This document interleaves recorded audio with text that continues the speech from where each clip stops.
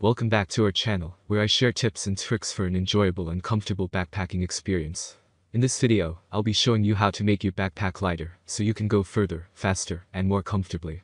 Please check the description link, I will provide details information. Why you need a light backpack.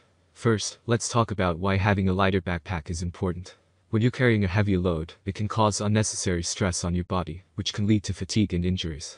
Choosing the right backpack. The first step to making your backpack lighter is choosing the right one. Look for a backpack that is made of lightweight materials, like nylon or polyester, and has a simple design. Pack light. Next, let's talk about what you should pack. Only bring what you need and leave behind anything that's not essential. Start by making a list of what you think you'll need, and then go through it again and eliminate anything that you can do without. Choose lightweight gear. When it comes to gear, choose lightweight options whenever possible. Look for sleeping bags, tents, and sleeping pads that are specifically designed to be lightweight.